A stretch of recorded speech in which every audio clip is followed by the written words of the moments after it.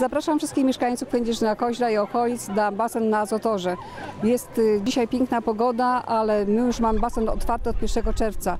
W, przez cały czerwiec we wszystkie dni od poniedziałku do piątku basen mamy czynny od godziny 12 do godziny 18. W weekendy od 10 do 18.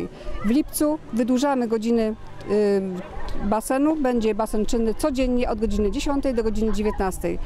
Bilet wstępu to tylko 4 zł dla dorosłych i 2 zł dla dzieci. Serdecznie zapraszam.